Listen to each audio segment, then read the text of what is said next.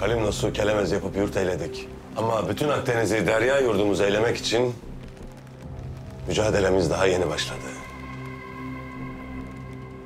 İlk hedefimiz Levita Adası'dır. Levita Adası'na yıllar evvel sancak dikilmiş, ezan okutulmuş, Darülislam toprağı yapılmıştır. Levita Adası, Menteşe Adaları dediğimiz 12 adaların en mühim koludur. Anadolu'nun ileri karakoludur 12 adalar. Akdeniz'deki hakimiyetimizin kilididir.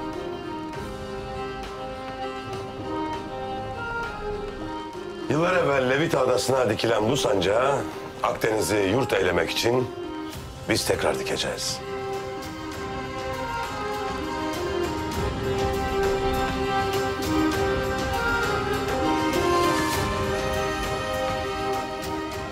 Venedikliler adanın kendilerinin olduğunu iddia eder. Ama Darülislam toprağı olan Levita Adası'nı almak, 12 adalara hakim olmak bizim yüce vazifemizdir. Şehitlere borcumuzdur. Akdeniz hakimiyeti için ilk hedefimizdir. Venedikliler geldi ağa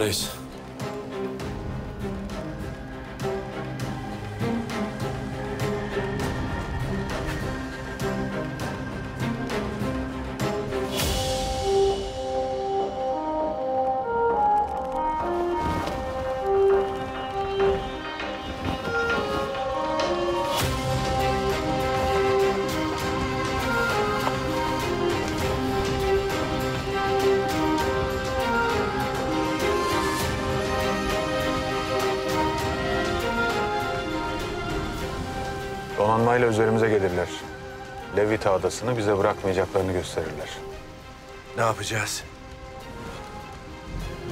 Bugün Levita Adası için son kez kozlarımızı paylaşacağız. Gemiler savaş düzenine geçsin İlyas.